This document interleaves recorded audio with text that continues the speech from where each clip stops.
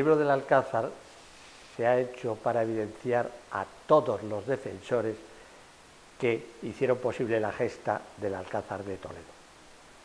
Porque mucho se ha hablado del gobernador militar que tuvo la jefatura de la defensa del Alcázar, pero nunca se ha hablado, o se ha hablado muy poco, de los reales defensores, de los guardias civiles, de las mujeres de los guardias civiles, fundamentales para mantener la moral de los defensores, de, los, de las falangistas, que a tanto por ciento fueron el núcleo que más pérdidas y más bajas tuvo de, todo el conflicto, del jefe real de la defensa que Moscardó le, dio la, defensa del Alcázar, se la dio a, un jefe, al comandante Ricardo Villalba Rubio, y él fue el que realmente hizo la defensa como tal. No se ha hablado de lo, que sucedía en Toledo antes del el alzamiento, ni lo que sucedía durante el alzamiento, ni lo que sucedió posteriormente al alzamiento, ni de las tropas que entraron en Toledo, ni del desarrollo de la defensa en ambos sentidos, tanto en el lado de fuera del muro como en el lado de dentro del muro. Nada de esto se ha, se ha escrito nunca. Y mira que se han escrito libros sobre la, guerra de España. Se han escrito más libros de la guerra de España que, la, que cualquier otra guerra o probablemente de todas las guerras juntas. Aún así, ninguno hablaba de todos los defensores de la defensa de Alcázar de Toledo, que son realmente los que hicieron posible dicha defensa.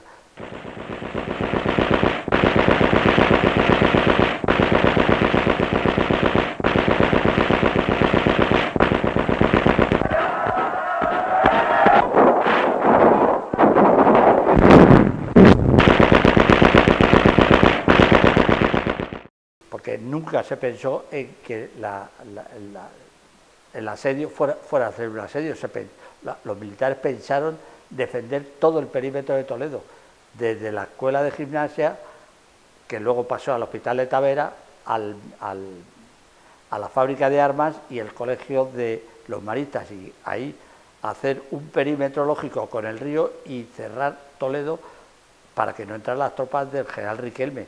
Aún así, cuando Moscardón no mandó municiones a, Tavera y, la, fábrica de armas se desmoronó la defensa, pues no tuvieron más remedio que meterse dentro del Alcázar, pero se metieron sin tener ni prácticamente no tenían ni munición, hubiera, hubiera sido por, la defensa del hospital de Tavera que les dio tiempo a meter municiones, no tenían absolutamente nada para poder mantener un asedio. Aún así, increíblemente lo mantuvieron durante 70 durísimos días.